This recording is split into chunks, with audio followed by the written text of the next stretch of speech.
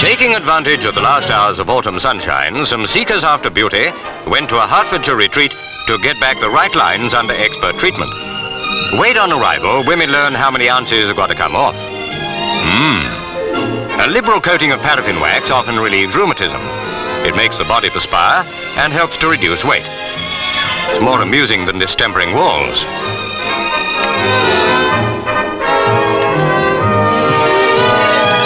Seaweed concentrate is also good for women overweight or with rheumatism.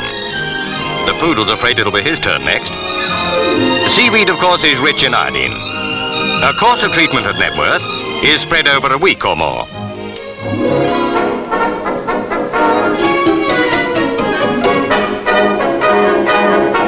Puffy ankles soon go to normal size under this treatment. For skin that's too oily, the face steamer opens the pores and draws out impurities.